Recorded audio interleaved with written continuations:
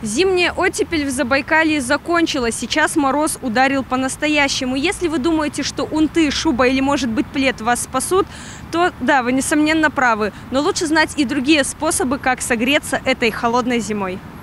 Чтобы не стать жертвой вируса и не провести зимние дни на больничной койке, нужно прислушаться к советам врача.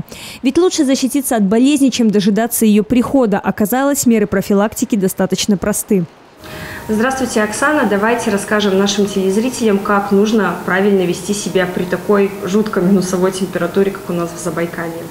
В первую очередь нужно соблюдать э, ряд таких э, правил, которые помогут вам э, в плане исключения обморожения переохлаждения. Это в первую очередь нужно обратить внимание на вашу одежду. То есть одежда должна быть не только теплая, но и комфортная для вас и не сковывающая ваше движение. То есть здесь приветствуется многослойность. А, то есть, например, вниз одеваете какую-то хлопчатобумажную а, футболку, а потом, а, значит, свитер и а, уже теплую зимнюю куртку. То есть вот эта прослойка воздуха между слоями одежды, она будет препятствовать да, повышенной теплоотдаче. При выходе на морозный воздух а, а, наносить на открытые участки тела, которые подвержены вот именно обморожению, переохлаждению, а, это в первую очередь э, кожа лица, а, жирный крем, а, питательной, на питательной основе. Ни в коем случае это не увлажняющие крема не пользоваться. Обязательно нужно а, очень хорошо питаться. То есть а, тут приветствуются жирные продукты питания. Это, например, с утра вы, вы употребляете в пищу, например, бутерброд с сливочным маслом, да, большим куском даже сала можно если медицина – это одна из менее приятных сфер, то существует и обратная сторона медали. Назовем ее э, «Вкусные приятности». Это Елизавета. Сегодня мы вместе с ней приготовим полезный и вкусный витаминизированный напиток, который называется… Чай «Зимняя вишня». Угу. Ну что, Лиза, давай начинать. Начинаем. Угу. Мы добавляем полуфабрикат. Пряная вишня – Угу, расскажи, чем он отличается, этот полу... Просто, просто слово полуфабрикаты, но такое немножечко неприятное и странное. Мне кажется, его боятся наши забайкальцы. Нет, здесь все натуральное. Здесь самое главное это вишня свежая, сахар, э, мускатный орех, ничего лишнего. После того, как мы добавили заготовку, добавляем сироп амаретто. То есть мы это делаем на глаз. Сейчас добавляем лимон. Лиза, я так понимаю, далее мы берем апельсин. Верно. Угу. Давай я тебе немножечко помогу.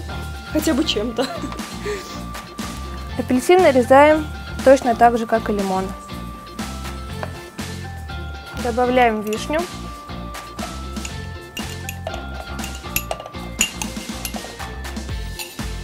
И имбирь.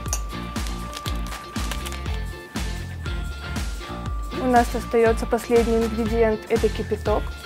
Заливаем.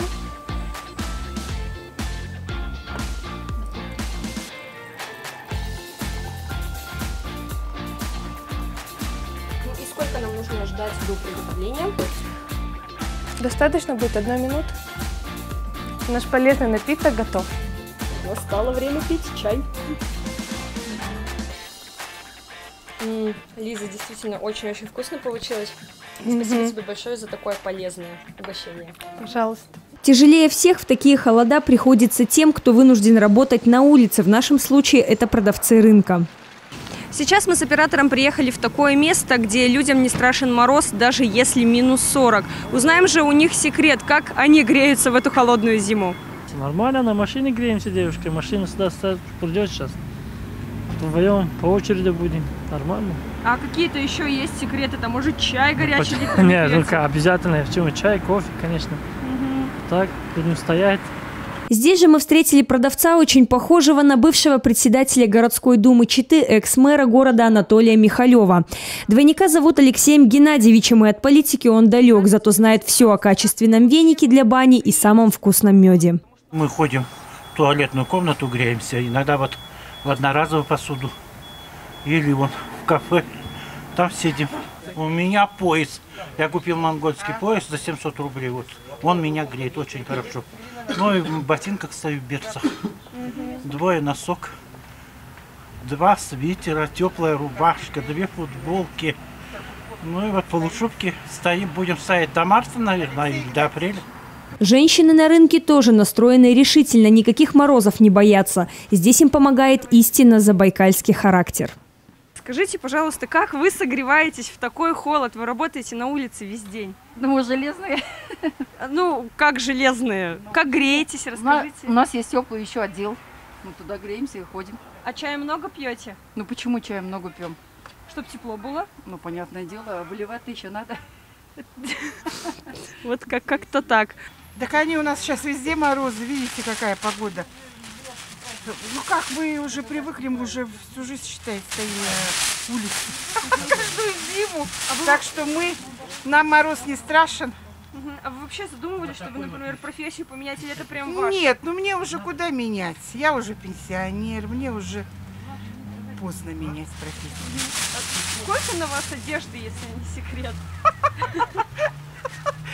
Как капуста. Очень много. Сейчас еще оденем один пуховик сверху. Второй. Если вы все же простудились, не отчаивайтесь, обязательно приступайте к лечению и включайте ЗапТВ 24. Юлия Сидельникова, Анатолий Мишаков, ЗапТВ.